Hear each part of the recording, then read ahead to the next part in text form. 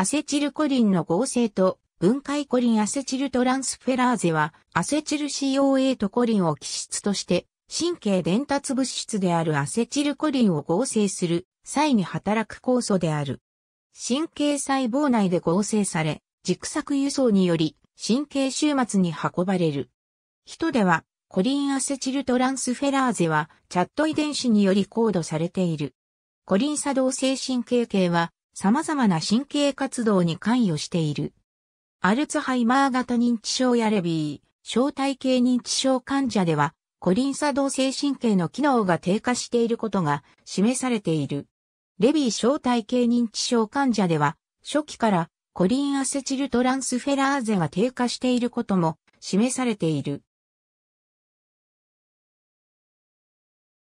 シュトラウス WL、ケンパー RR、ジェイアカー P、コン CF、ハーシュ LB、ヒルト DC、レビン M、ヒューマンコリンアシートルトラファースジンマップス2リージョン、19-11-922.2倍陰質、ハイブリダイゼーション。ゲノミクス Q、396-8、ドイ、10.1016、0888から7億5439万273、H プミド184万566、ティラーボスキー P、ハンセン LA、アルフォード M、メド A、マスリア E、トル LJ、コーリーブルーム J、アーリーワイドスプレッドコランデュジックロスサス、ディフェレンシートディメンシャウィズ類、ボディーズフロムアルツハイマーディジーズ、アーチジェン再開アトリー59、946-51、プミド1236万5882。ありがとうございます。